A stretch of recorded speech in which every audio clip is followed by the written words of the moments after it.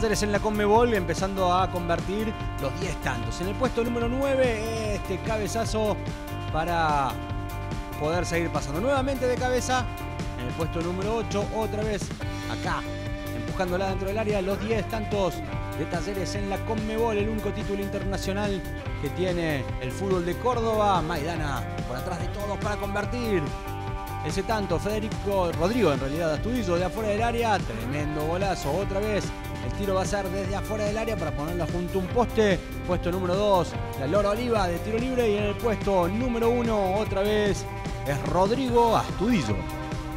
La querencia. Buena carne, buen vino.